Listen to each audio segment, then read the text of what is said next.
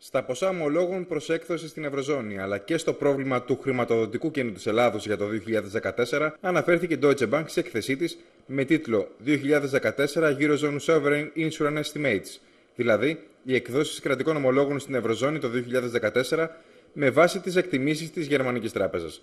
Όπως αναφέρει μεταξύ άλλων ο Διεθνής Οίκος, η Ελλάδα παραμένει πλήρως χρηματοδοτημένη για το 2014 παρά την έλλειψη των 4,4 δισεκατομμύριων ευρώ, που χαρακτηρίζεται και ως χρηματοδοτικό κενό, μιας και η ελληνική οικονομία χρηματοδοτείται μέσω του πακέτου διάσωσης από την Ευρωπαϊκή Ένωση και το ΔΝΤΑΦ, ενώ αναφέρει ότι όπως το 2013, έτσι και για το 2014, οι εκδόσεις χρέους θα είναι μηδενικές για τη χώρα μας, εφόσον υποστηρίζεται από το πακέτο στήριξης. Αναφερόμενοι και στον προσωρινό μηχανισμό στήριξης της Ευρωπαϊκής Ένωσης, δηλαδή τον EFSF, η Deutsche Bank υποστηρίζει πως ο μηχανισμός παραμένει ενεργός στις αγορές, προχωρώντας σε εκδόσεις χρέους για να χρηματοδοτήσει τις ανάγκες των χωρών που λαμβάνουν πακέτο διάσωσης. Ενώ σύμφωνα με τη συγκεκριμένη έκθεση, ο EFSF έχει ακόμα κεφάλαια ύψους 16 δισεκατομμύριων ευρώ, τα οποία αφορούν τη στήριξη Ελλάδας και Πορτογαλίας. Για το επόμενο έτος, οι εκδόσεις χρέους του EFSF θα κινηθούν κοντά στα 23 δισεκατομμύρια ευρώ.